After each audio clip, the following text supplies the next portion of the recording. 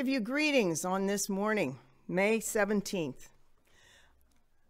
We welcome you into the worship together as a congregation as we give praise and honor to our Lord and God. There are certain announcements I wish to make. We've had daily bread and upper room are available, and if you wish, you can come in. They're right inside the door in the vestibule on the table. If you can't make it in, call into the office and we will mail you whatever you request. We know that if you are used to using these items, it's important that you continue to have them available for your use and your continuing study of the Bible and the Scripture. Uh, the there are masks outside the main door in a tote. Uh, they have been donated. If you need a mask, just drop by the church, take one out, and that's all you need to do. They're free, and uh, they were made by a member of the congregation for our usage. We are continuing, excuse me, we are continuing membership classes on Sunday at 9:30. If you wish just to sit in to observe, please please be, uh, contact Pastor Dwayne and he will send you the information. We are also looking to continue Bible study on Sunday morning, and we would like to uh, find out how many people would be interested in doing that. It would be during the regular Sunday school hour. And if you are interested, would you please contact the office so that we can find out whether it's feasible and whether there is a desire or a need to do this. If you have any praises or concerns, especially prayers of concern, please contact the office and we will put them out on the prayer chain and the email chain.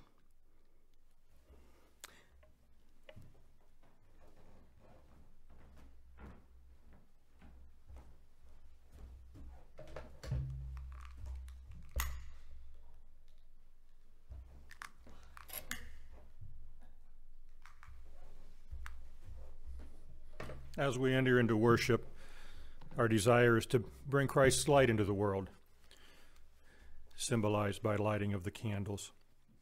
Our scripture reading for this morning is from uh, from 1 Peter chapter 3, verses 13 to 22. If you'd like to pause the video and open your Bible to join along. I'm reading out of the New Revised Standard Version, 1 Peter chapter 3, verses 13 to 22. Now, who will harm you if you are eager to do what is good? But even if you do suffer for doing what is right, you are blessed. Do not fear what they fear, and do not be intimidated, but in your hearts sanctify Christ as Lord. Always be ready to make your defense to anyone who demands from you an accounting for the hope that is in you. Yet do it with gentleness and reverence. Keep your conscience clear, so that when you are maligned, those who abuse you for your good conduct in Christ may be put to shame. For it is better to suffer for doing good, if suffering should be God's will, than to suffer for doing evil. For Christ also suffered for sins once for all, the righteousness for the unrighteous, in order to bring you, bring you to God. He was put to death in the flesh, but made alive in the Spirit, in which also he went and made a proclamation to the spirits in prison, who in former times did not obey, when God waited patiently in the days of Noah, during the building of the ark, in which a few, that is, eight persons, were saved through water. And baptism, which this prefigured, now saves you, not as a removal of dirt from the body, but as an appeal to God for a good conscience through the resurrection of Jesus Christ, who has gone into heaven and is at the right hand of God, with angels, authorities, and powers made subject to him. God bless the reading of his word, and we look forward to Pastor Barb bringing our message. Thank you, Pastor Dwayne. How many times when you're growing up do you remember your parents telling you, now you be good? You be good. How many times have you used that phrase around your children, grandchildren, nieces, nephews, friends? You be good. Be good. What does why do you have to be good? Well, if you're not good, you're bad. And sooner or later, that bad catches up with you, and people start asking questions. And then it comes down to a matter of conscience. Is your conscience clean? Have you been bad or good? It reflects on your conscience. And your conscience can it can bother you. If you know you have done something that is not good, you know it. Your conscience bothers you. Peter is writing a letter to the church. He's writing to the early Christians who are tr- struggling to figure out how am I a Christian? How do I live my life so that I am a Christian, a follower of the one called Christ? He starts out about who can harm you if you do good? And then he realizes, well, yeah, you can get hurt doing good. Uh, I remember that sticks and stones may break my bones, but words will never hurt me. Yeah, they sometimes do, and people can be bullies and they can they can hurt you. They can make fun of you. They can challenge you. And that is what this scripture, the beginning of it is all about. It says, "Do not fear what they fear and do not be intimidated. Sanctify the Lord in your heart." sanctify.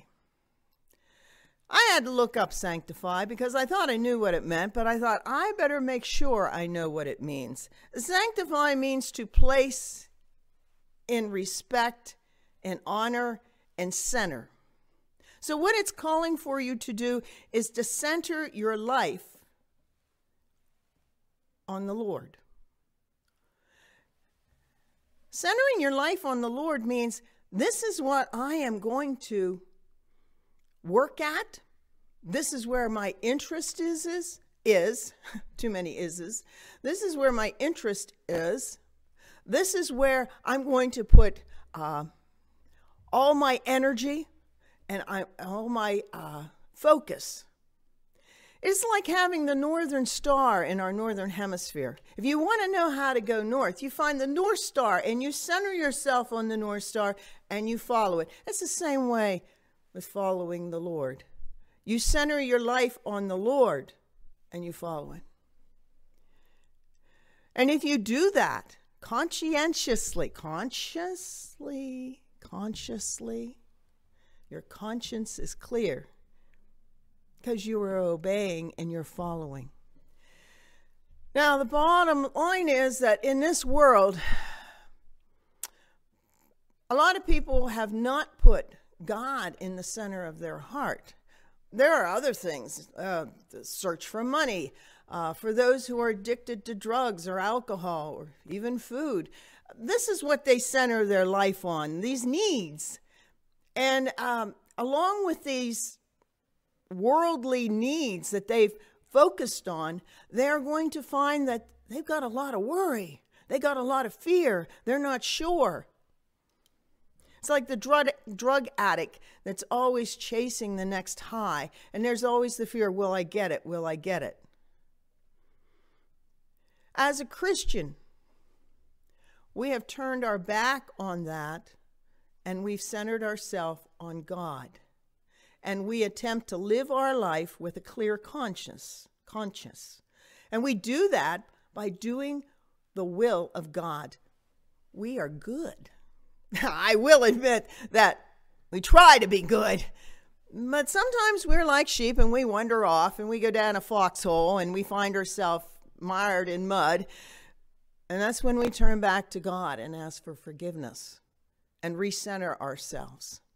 Sometimes we stray off and then we have to remember to come back. Why is this important? The rest of the scripture talks about Jesus and the fact that he died, the righteous died for the unrighteous. Why did he do this? He did this to bring us to God. So he gave us a way to find forgiveness for those times when we lose our focus on God, go astray, and sin. That's why he died, to save us. There is also that part about Noah and the ark, uh, saving uh, the eight through the water and tying it into baptism. And it's very clear there. He says, hey, you don't get baptized to take a bath, you get baptized so that you can ask the Lord for a clear conscience. If you go back to the book of Genesis, Adam and Eve in the garden, after they've eaten the fruit, the Lord is walking through the garden in the evening and they're hiding in a bush. And the Lord calls out to them, Where are you? Oh, we're naked. How do you know you're naked? Did you eat of the tree that I told you not to? Nope. Their conscience was not clear because they know they'd done something wrong. And they were afraid.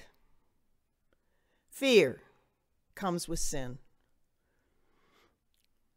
We are living in a time of great fear. We are living in a time where we are masked, we are gloved, and we walk with fear. We don't know if it's safe to leave our houses. We don't know if it's safe to go to the grocery store and buy groceries. Can we bring those groceries into our house or do we wash them all before we put them in our house with disinfectant. And I'll tell you right now, it's kind of hard to find disinfectant. Sanitizers, bleach, it seems to all have disappeared. People are so concerned. But if you have centered your life on the Lord, you realize you are in His hands. You realize that you use your common sense as you were taught as children. Wash your hands because this is your hands and they get dirty and you don't know what's on your hands. So wash them. It's the same way when you were young and they told you look both ways before you cross the road. Do not run with scissors. Why? You can get hurt. Common sense rules. Follow them. If you follow the common sense rules and you put the fear aside and you focus on the Lord, remember the hymn, On Christ a solid rock I stand, all other ground is sinking sand. That's the fear that surrounds us. Center your life on Christ. Accept his redemption and know that our conscience is clear and we can come to the Lord without fear because we know that he is in control. We have free will, and that's how come sometimes we go astray, but we know he will welcome us back if we ask for forgiveness. And all these things in these days of trouble and turmoil and uncertainty, make sure where your heart is. Center it on the Lord, and you will find that your fears aren't as great as you thought they were. Go in peace this week. Go with the knowledge that the Lord holds you in his hands no matter what.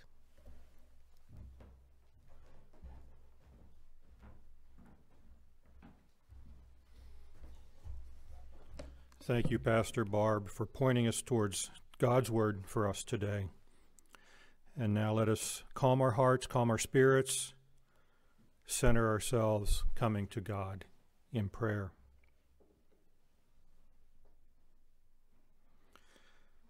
God Most High, living God, Lord of the earth, we come together as we can in spirit to acknowledge you as Creator and Sustainer. We praise your holy name in our worship and in our prayer, and we desire to glorify you in our lives. We are excited for the spring weather, the growth and new life we see all around. Thank you, God, for life, for the cycles and design of nature that creates, reflecting your creative spirit in and through the world. And we thank you for the opportunities that we are given in life to participate in creation and recreation. Allow us, we pray, Heavenly Father, to not despair in the cycles of life that challenge our ability to enjoy your creation. Take our fear, we pray. Give us a deep sense of your abiding love in and through these difficult times, so that we may always be looking up at the glory that is to come, and to not be mired in focus on the mud at our feet. May our consciences be clear, we pray. Help us to embrace the necessary, different, and creative ways of coming together and to be able to sort through all the information being thrown at us so that we can recognize the controlling from the true. Allow us to be formed and molded into the way and path that you set before us in the life and spirit of your Son, Jesus Christ. We uplift those of our fellowship for whom life goes on, and we pray for your presence with each and every one where healing is your will. We pray, Lord, that you make your power known in them. Where it is not, we pray for the peace of spirit to accept your will and to live in the assurance of your promise for life beyond this realm and reality. We pray, Lord, for the world. There is so much need for your love, care, and compassion May the people of the world take the opportunity before them now in, in this pandemic to stop and share that love and respect of others given by you. Be with the leaders in the world, we pray, that they might be guided by your hand and not by their own agenda. We also uplift this church, O God, that we might be, beyond these walls, a body of Christ. Guide us as we look to return to these walls for praise, worship, and prayer, that, would, that we would do so respectfully and that we might offer a place for people to come and to be in your presence. Sanctify us in that task and bless this community as we endeavor to reflect your light in the world. For your glory and for Jesus Christ. Amen.